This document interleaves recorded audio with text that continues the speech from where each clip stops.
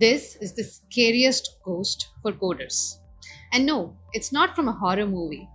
This is the DSA ghost, the very own infamous data structure and algorithm ghost that haunts programmers everywhere. But today, we are going to destroy that fear.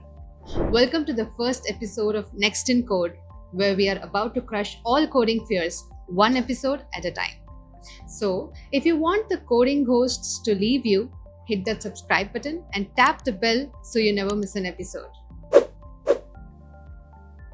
Now, tell me something. I'm sure you must have heard it before.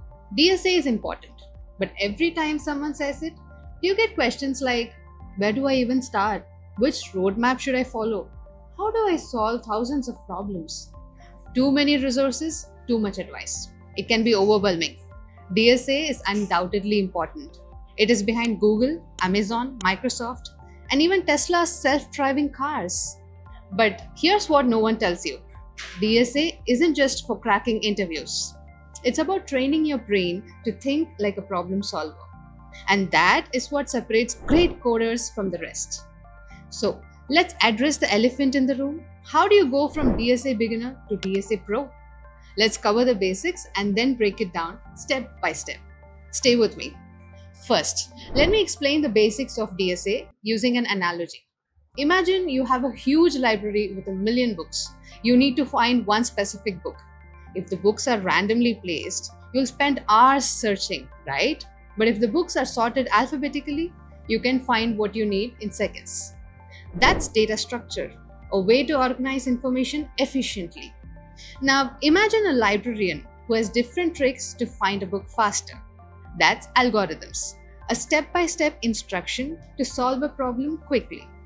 So, in simple words, DSA is all about organizing information and using the smartest tricks to get what we need fast.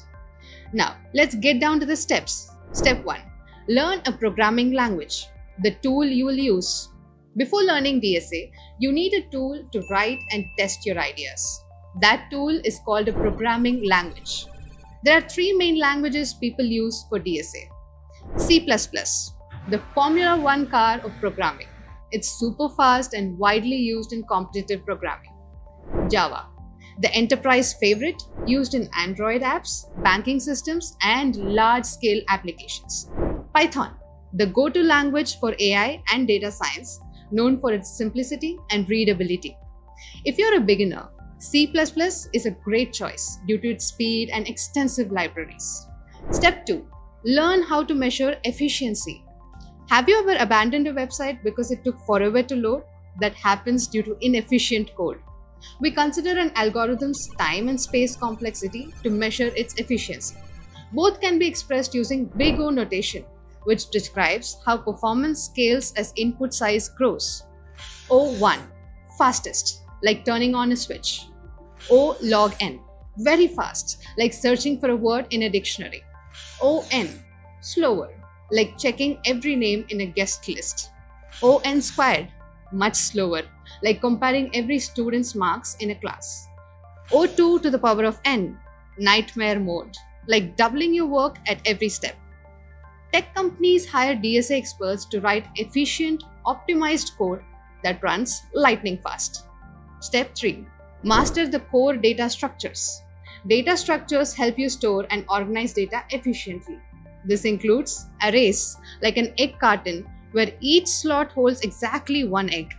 Linked lists, like a train, where each carriage is connected to the next. Microsoft Word uses this to store undo history. Hashing, the magic behind Google search, password security, and databases. It allows instant lookups, like jumping to the right page in a book without flipping through. Stacks and queues, used in undo features, browser history, and task scheduling. Trees and heaps, essential for databases, compilers, and hierarchical storage like file systems. Once you master these, you're ready for the next step. Step 4 Basic algorithms. Algorithms are problem solving techniques that make programs faster and more efficient. They are of two types. Sorting algorithms, the process of arranging data in a specific order, usually ascending or descending. It helps in faster searching, better organization, and efficient data processing under which comes bubble sort, the slowest but simplest, compares and swaps adjacent elements. Insertion sort, sorts one element at a time, like arranging playing cards. Merge sort, uses the divide and conquer method for faster sorting. Quick sort, one of the fastest used in real world applications like databases. Then there is searching algorithms, the process of finding a specific piece of data within a dataset.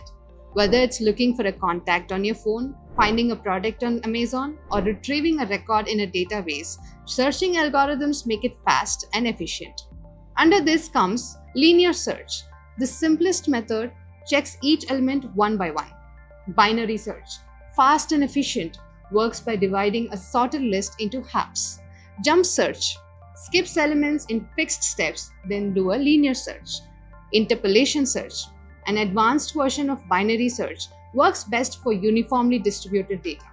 Exponential search, used when the size of data is unknown, like searching in infinite lists. Once the basics are covered, you can move to the fifth step, which is graphs, the backbone of maps and networks. Graphs represent connections. Google Maps uses Dijkstra's algorithm to find the shortest route. Social media. Facebook's friend suggestions are powered by graph theory. Networking. The internet itself is structured as a graph. Then comes step 6. Learn dynamic programming. This is where computers learn to solve problems faster by remembering previous solutions. Just have Google Maps finds the fastest route by caching past computations. Web browsers load pages faster using cached data. Video streaming services reduce buffering by storing previous segments. Buffer caching. Dynamic programming, which is DP, is used in all of these applications, making it a must learn for serious coders. Post this comes the final step applying DSA to real world problems. DSA is not just about coding, it's about solving real problems. And guess what? The world loves problem solvers. Want to land a job at Google, Amazon, or Meta? Hmm, DSA gets you there. Want to build the next big app or game? DSA makes it run 10x faster. It's the secret sauce behind Google's lightning fast searches, Netflix's perfect recommendations, and even self driving cars. And here's the best part you can learn it with the roadmap I just shared. Because at the end of the day, your skills will shape your future, not just your degree. That's all for the first episode of Nxt In Code. See you in the next episode. Till then, keep learning and keep coding.